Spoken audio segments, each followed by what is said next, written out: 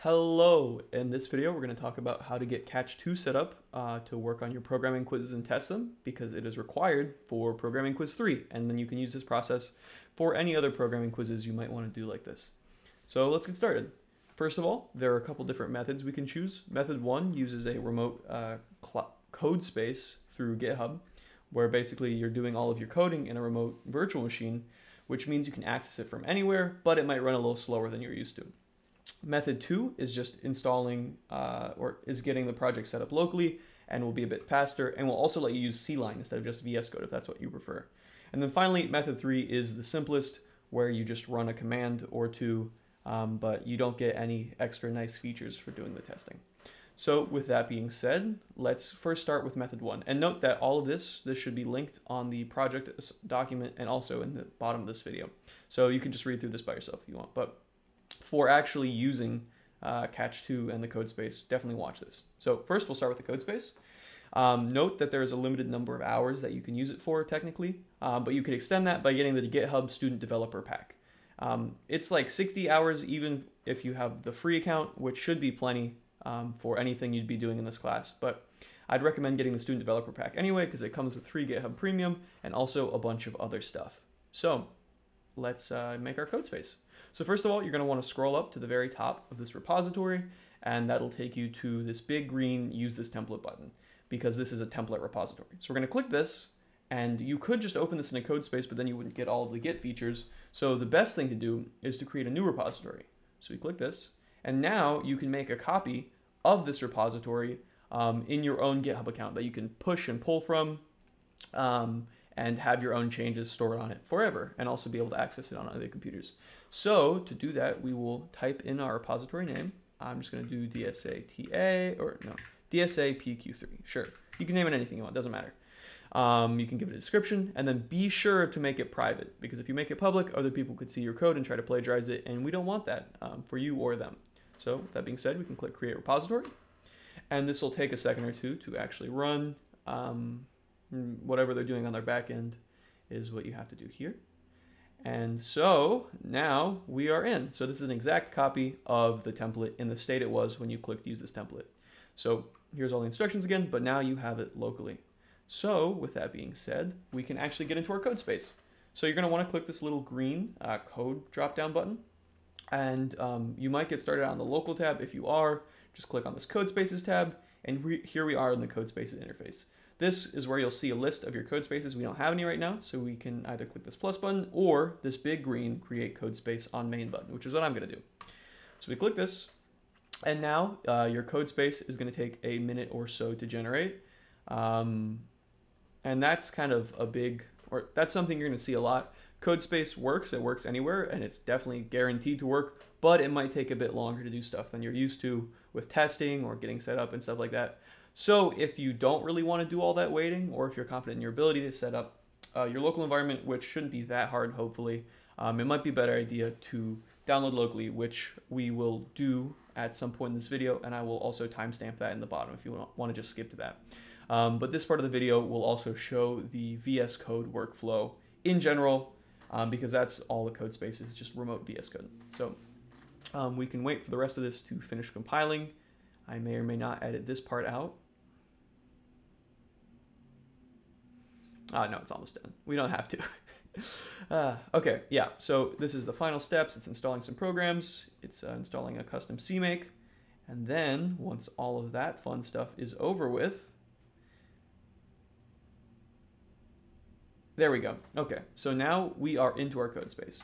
Um, it needs to set up the remote connection, and uh, this is also going to take a couple seconds to actually get set up. So it's going to load in all of the UI elements, the colors and stuff, um, and then usually, yeah, it opens the README right here. I have a dark mode extension, which I just turned off.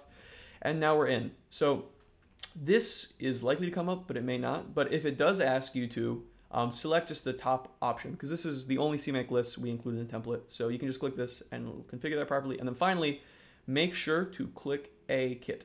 So choose GCC because that's what or that's what um, Gradescope uses. Clang might work, but it might not work how you expect it to. So just use GCC and keep stuff simple.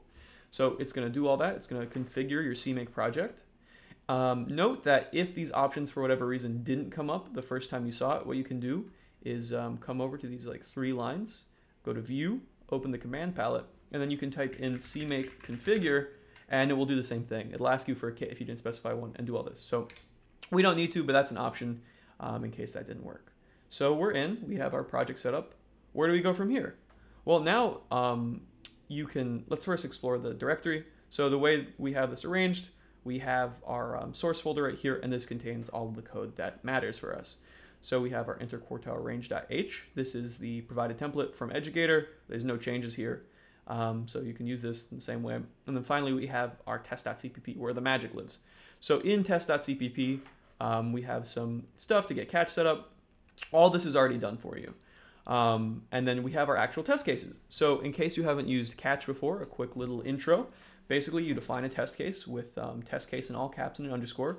Then in the parentheses, you say um, the name of the test in quotes. These have to be unique. And then you have the, the, flags, which don't have to be unique. So this is a list of any number of um, flags. So we could call this like flag two. And these will let you um, sort your tests. So say you only want to run your tests for edge cases or big inputs. You could flag it. You could flag each test like that and then um, group them by those tags to let you test it more easily. So that's a thing you can do. Um, so in your actual test case code, it's just regular C++, you write whatever you want. And then when you're ready to test for something to be true, you do require. So require in all caps, and then in parentheses, you have some statement that should evaluate to true or false. So this is obviously going to evaluate to false because one is defined to be one, and we have zero here. And then finally, you can also just like simply put false. And so all of the individual require statements need to evaluate to true for the test case itself to pass. So let's try that. So to actually test, um, you can one go through the GUI, which is like this. I'm going to move it up just so it's a little more accessible. It's this little um, I guess, vial icon. So you're going to notice when you first go into here, um, nothing's set up. There's They're saying test not built. It's not showing anything. So what you want to do is click up here, and there's a little refresh test button. There's a shortcut if you want it. So if you click that, it is going to um, actually get the test set up. So the first time, it's going to actually build catch 2. Because we have catch 2, um, we have CMake pull in the catch 2 code and then build it with our project. So this first time, it's going to take a while because it needs to actually build catch 2. Um, but after this, testing should be very quick. You can make a change, hit the little test button, and it should update immediately. Um, should is the keyword, but from what I've seen, it does. Um, if it doesn't, you can always hit the little reload button up there again, um, just in case, and that should make any updates that need to happen happen. So this is all doing its uh, thing. Great, so now we can see all of the tests we have. So we have our original example test name, we've got test two, and then we have our um, test cases that were given with the Edugator template. Um, and you can see we also have the hidden ones. So uh, uh, note that these sort alphabetically. So if you want them to be in some order, um, you want to name them alphabetically.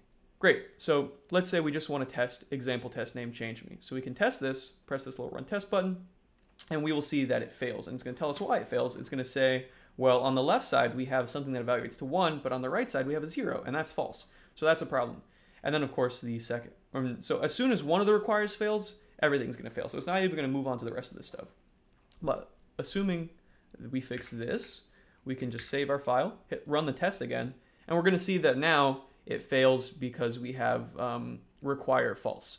So if we just change this to true, and then save our file, Command S, however you like to do it, and hit play one more time, we now have our first passing test. And you'll see that's a little green check mark right here. So if you want to run all the tests, that's simple. You just hover over the name of the main thing, hit play, and then it'll run all of the other tests. And we can see um, and we can see which ones pass. Test two I make to pass originally.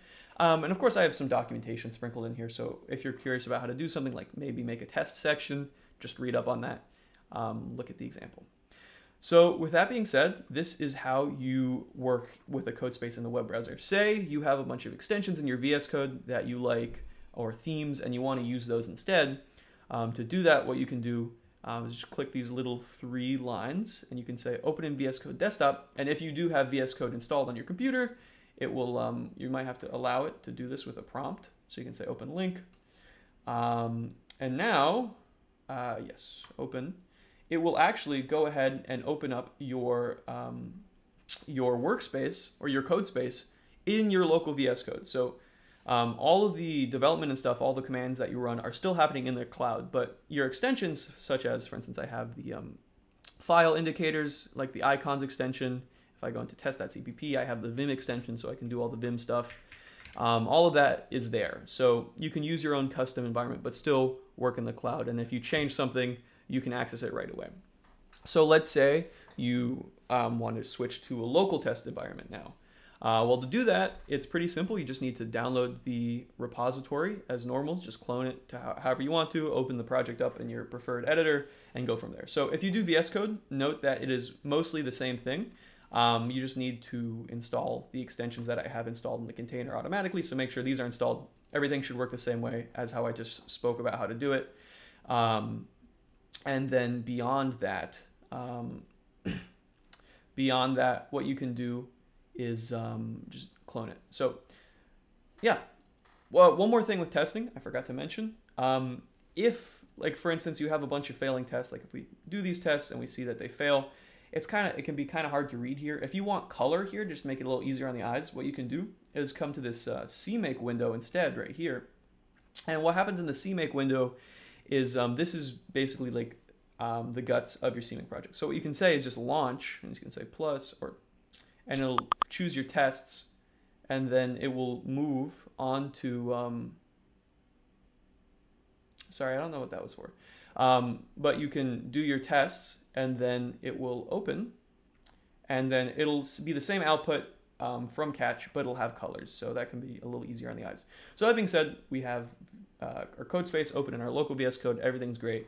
What if you want to run this locally? Let's say in CLion well that is also very simple.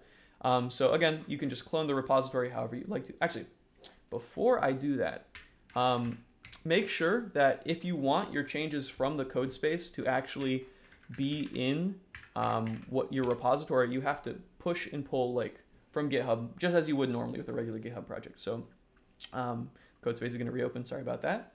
We can come to our GitHub tab right here, or our Git, our source control tab, and then we can. Uh, I'm so sorry um, we can click all of these. Um, we can either click and stage them individually, or we can just say commit and push, um, which I prefer to do. It'll say, hey, you haven't staged your changes. Um, where is it? Oh, it's not showing it, but I do not want an update. Um, yeah. Oh. And then you can write what your um, changes are. It might ask you, hey, you haven't staged any changes. Do you want to stage them? Just say yes, or however you want to handle it. Write your commit message. We can say, um, fixed test or something. Um, then we can hit the little check button, accept the commit message. Yes, please save my changes. Great. So um, once you close that or like hit the little check button, it'll push it up to GitHub. So now we can close our uh, code space safely, come back to our GitHub repository, refresh, and we will see that indeed we have our little fixed test commit and we can see our changes just like with a regular um, with a regular GitHub type thing. So great, we're in, we did all that.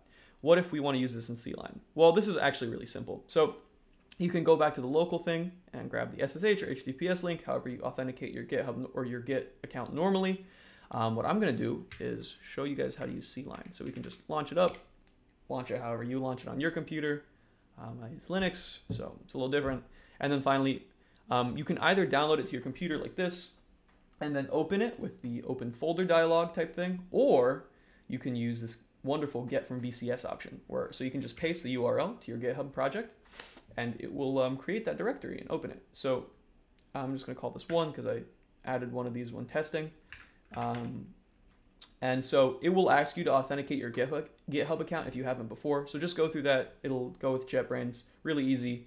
Um, so yeah, authenticate all that, and then you should be in. So now you can just say trust project, um, and then now you're in CLion. So it's going to ask you to do a bunch of project setup. You're good to just leave all of these as the defaults. Um, and so with that being said, I don't have GCC installed, so this demo is not going to work. Um, I, I, just I just installed this, so I don't have a couple things set up. But so I don't have GCC installed, but assuming that you do actually have a compiler installed, um, you should be able to run um, your CMake and stuff like that. So sorry about that, but hopefully the um, CLion or yeah the CLion testing workflow is shown as a separate video in front of the quizzes. So if you need to reference that, you can look it up. But otherwise, here you are. And then if you want to uh, do stuff with Git, you can click this little version control tab and then do the same stuff. If you want to commit, you could do, um, I believe it's Control K, and it'll pull up a commit window where you can um, talk about your different files, do your commits, all that. So with that being said, that is method two. If you want to use it locally, make sure you have Git installed, make sure you have GCC installed, unlike what I did. Um, and then finally, the, um, the barest of bones method, you can just um, do everything from the command line. So you run the compile command um, and then run the commands to actually run your tests. And so you have to change one thing in the um, CMake or in your catch file. But aside from that, that'll just work if you run this from your project directory. Uh, yeah, so with that being said, this is how you use Catch 2 testing. Feel free to reach out to me, Paul, uh, the TA, if you have any questions about this, and I will be happy to help or update the documentation and stuff as required. Uh, so yeah, thank you very much.